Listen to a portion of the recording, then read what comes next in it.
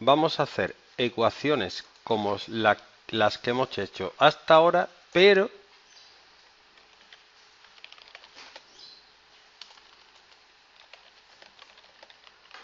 Ahora, en vez de despejar x, nos va a aparecer menos x. Y vamos a ver qué hacemos con el menos x.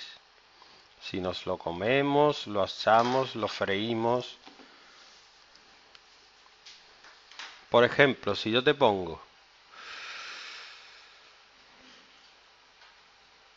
5 menos x igual a 2, instintivamente tú vas a saber cuál es la solución, ¿sí o no? Sin tener que despejar ni nada. ¿Cuál es la solución? 3. Pero si te empiezo a enrollar y te pongo menos 5 menos x igual a 4, por ejemplo, ya la solución no sale instintivamente sino que tienes que despejar como hemos hecho hasta ahora, ¿vale? Entonces nosotros vamos a despejar menos x como hemos hecho hasta ahora y luego vamos a hacer un truco para saber cuánto vale x. Si no fuera menos x, si fuera más x, tú harías lo que te he estado enseñando, que sería 4 y el menos 5 como pasa aquí, ¿qué tengo que poner aquí? Más 5, ¿vale? de queda que menos x es igual a 9. ¿Esto qué quiere decir? Esto se puede leer de la siguiente manera. Si le cambio el signo a x, eso es lo que quiere decir menos x. Si le cambio el signo a x, me da 9 si le cambio el signo a x y me da 9, ¿qué número tiene que ser x? 9. No. Si le cambio el signo me da 9. ¿Qué número es x?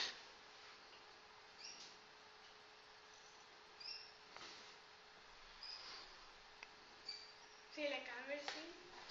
Con otro número. Si le cambio el signo a x me da 1. ¿Qué número al cambiarle el signo me da 1? No. No. Si le cambio el signo al 1 me da menos 1. ¿Qué número al cambiarle el signo me da 1? Ahí está, menos 1. Entonces, ¿qué número al cambiarle el signo me da 9? Esto, como a mí me lo enseñaron, me decían, le puedes cambiar el signo a los dos miembros de la ecuación. Y te queda que x vale menos 9. Pero yo quiero que entiendas por qué. Es el número que al cambiarle el signo da 9. Ese número tiene que ser menos 9. ¿Por qué? ¿Por qué qué?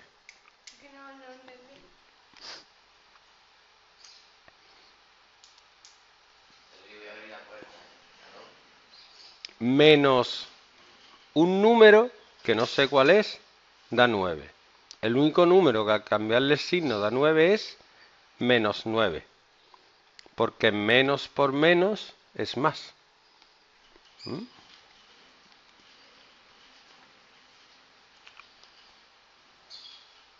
Vamos a hacer otro ejemplo, a ver.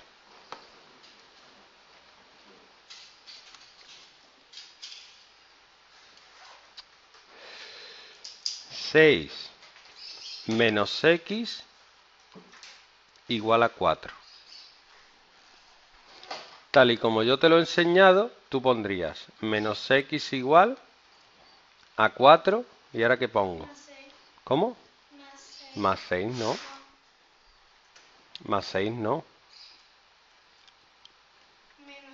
4 menos 6, porque el 6 cambia de miembro. Cuando cambia de miembro se le cambia el signo. Entonces queda menos x igual a menos 2. ¿Qué número al cambiarle signo da menos 2? 2 x tiene que ser 2.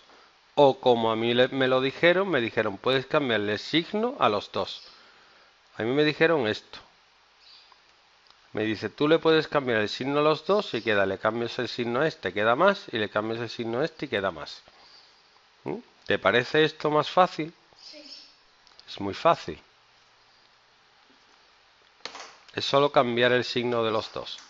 Vamos a probar con otro a ver. 5 menos x igual a 1. Esto sería menos x igual a 1. ¿Qué pongo ahora?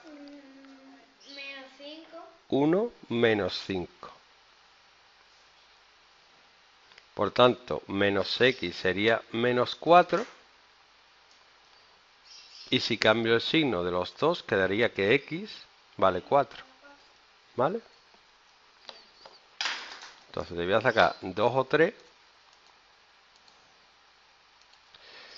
2